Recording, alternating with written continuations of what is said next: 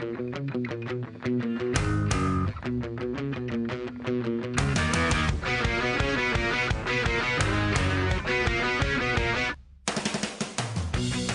I'm Kevin Falvey here aboard Bennington's brand spanking new 22 SLI. The S Series is Bennington's value lineup, but make no mistake, with an F-115 Yamaha, we enjoyed 36 mile per hour performance and handling. Additionally, we noticed all the top construction features for which Bennington is famous. And we enjoyed loads of luxury too. Stick around and we'll show you in detail while this S Series, like the 22 SLI, is expanding Bennington's appeal to a wider and wider array of boaters. Our test boat was powered by a 115 horsepower Yamaha F115 outboard, spinning a 13.5 by 15 inch 3D bladed aluminum prop through a 2.15 to 1 reduction. Our test load was two people or 390 pounds and 20 gallons of fuel. Top speed was 36 miles per hour. Time to 20 miles per hour was 5.2 seconds. Bennington's 22 SLI is rife with luxury, and that's nowhere more apparent than here at the helm, where we have a standard fiberglass console. Costing as much as $700 aboard competing brands, this one's equipped with stainless steel gauges, stainless steel cup holders, backlit rocker switches that are wired to waterproof connectors for long-term durability. There's a standard Sony stereo with CD player and four speakers, in addition to a nice windshield.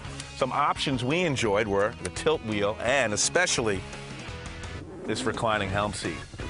Bennington's 22 SLI is upholstered in the same supple vinyl you'll find aboard their more expensive models. It's multicolored and features nice piping. Inside, there's plenty of storage. And because the seat bases are rotomolded, they're warranted for life, and they won't rot. They're attractive too. There's nice scalloped edges on the outside and mounting flats for the four speakers that come standard with the Sony CD and stereo. There's a chaise lounge here at the console and another one over here. Inside, this handy storage for gear like this fender. One of the features I really liked aboard the 22 SLI is this large standard platform aft. For one thing, it provides great access across the boat, and that's great whether I'm at the sandbar or docking and for putting the top up and down. Additionally, it's coated with vinyl. Most pontoon boats experience mildew problems in the carpet from swimmers coming up aft and dripping onto the carpet. The vinyl stops mildew in its tracks right here. The swim ladder here is bolted to both the deck and the tube.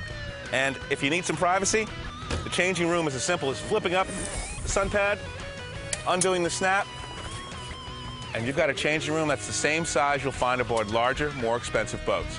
More evidence that the 22 SLI is built with the same attention to detail as its larger, more expensive fleet mates is found here in the fencing.